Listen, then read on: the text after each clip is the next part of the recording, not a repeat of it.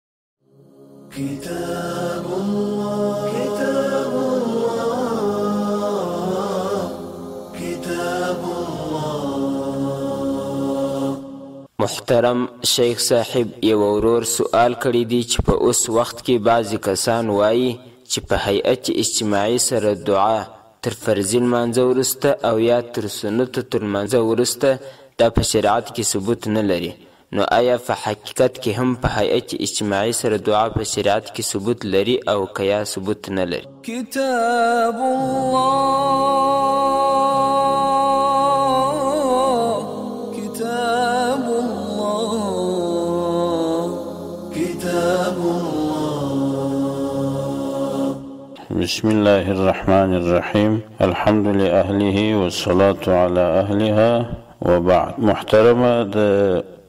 دعا اړوند به لنډه خبره داسې وکړم چې دعا یو مشروع شی دی مامور به شی دی الله عز وجل مسلمانان په امر کړي ادعوني استجب لکم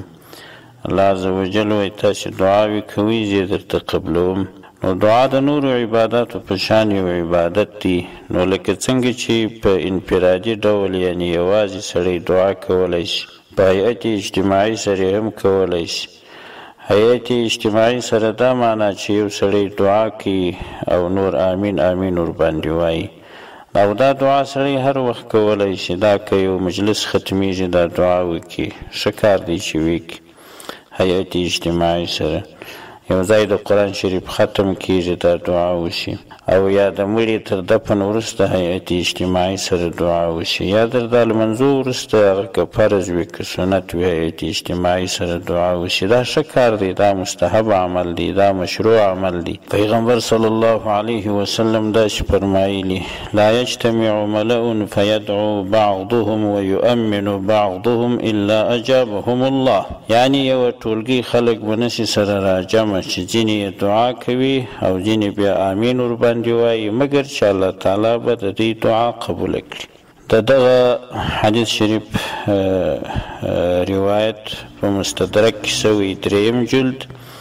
درې سوه اووه څلوېښتم مخ همدا شان کنز العمال اول جلد یو سل اووه اویایمه صفحه مجموع الزواید لسم جلد یو سل څلور نویمه صفحه المعجم الکبیر څلورم جلد دوویشتمه صفحه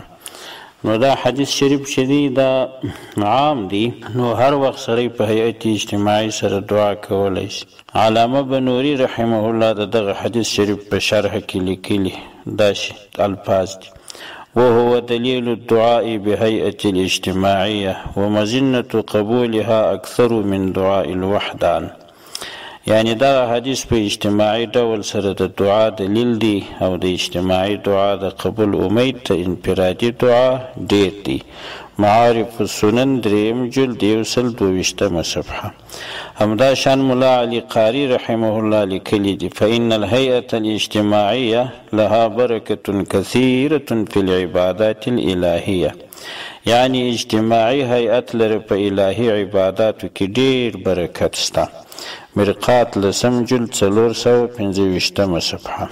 نو دا دی دی علماوو په صراحت لیکلی چه دا حدیث شریف په هیئت اجتماعی سره د دعا دلیل دی.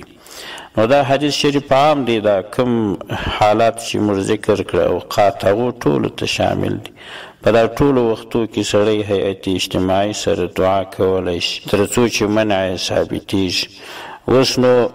دا منع یوازې سلفیان او وهابیان وایي چې تر فرض وروسته یا تر سنت وروسته هیئت اجتماعي سره دعا نشته اوس به نو د دې سزا پوښتنه وکړو چې آیا منع یې تاسې ثابتولی شي نبی علیه السلام په کوم حدیث کې په دغه وختو کې په هیئت اجتماعي سره د دعا څخه منع کړې ده؟ نو دا حدیث شریف عام دی، دا ټولو حالاتو کې عمل په کیږي تر څو چې منع یې ثابتیږي،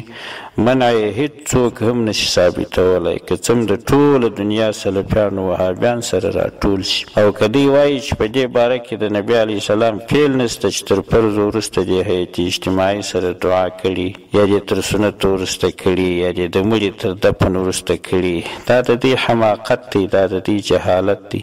خو دا دی د نبي علیه السلام قول ثابت دی دا ټولو حالاتو ته شامل دی نو لکه څنګه چې د نبي علیه السلام فعل حجت دی قول یې هم حجت دی حتی په اصولو کې دا یو اصل دی چې د نبي علیه السلام قول و فعل مقابل سره راسي قول یې ترجیح لري. ځکه په فعل کې د تخصیص احتمال شته او قول یې عام تشریعي حکم دي، نو هیئت اجتماعي سره دعا هر وخت کولای شي،